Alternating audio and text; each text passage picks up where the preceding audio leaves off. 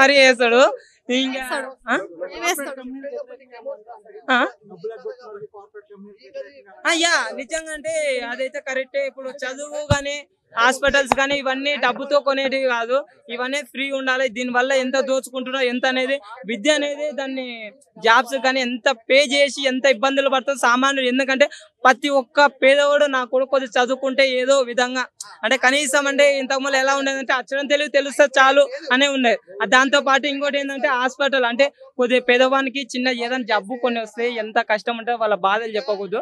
దాని గురించి కూడా బాగా చూపించింది ఎంత కరెక్షన్ చేసింది. శంకర్ దే అది కరే దాని గురించి లంచం అనే దాన్ని వేరేలాగా వినపడుతుంది అంట మన వాళ్ళు కొద్దిగా వేరేలాగా పోర్ట్రేట్ చేసి అట్లా వినిపిస్తున్నారు. బట్ ఆయన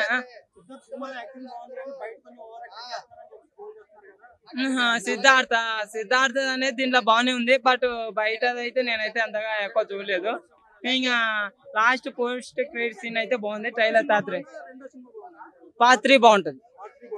పాత్రి. ఇందులో మనకి భారతీయుడు అంటే మన ఎవరైతే కమల్ హాసన్ ఉన్నారు కదా కమల్ హాసన్ గారిని ఇప్పుడు జనరేషన్కి కనెక్ట్ అయ్యే విధంగా క్యారెక్టరైజేషన్ చేశారు అంటున్నారు యా అదే మళ్ళా ఇప్పుడు ఉన్న జనరేషన్స్ ఎలా రిసీవ్ చేసుకుంటారు ఏం కథ వాళ్ళు ఎలా రియాక్ట్ అయ్యేది అనేది అయితే బాగా చూపించింది అనమాట వాళ్ళు జనాలు అంత మంచి తీసుకుంటారో అతని మీదకే వ్యతిరేకత వస్తుంది అనేది క్లియర్ చూపించిండు.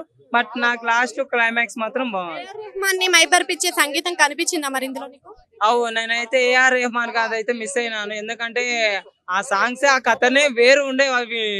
ఆ సాంగ్స్ ప్రతి సాంగ్ కూడా ఇప్పుడు కూడా ఉండేవి కానీ దీంట్లో అంత బ్యాంక్ అయితే సాంగ్స్ అయితే లేవు.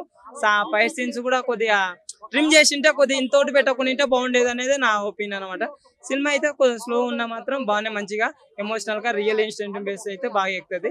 త్రీ గురించి అయితే వెయిటింగ్ చేస్తాను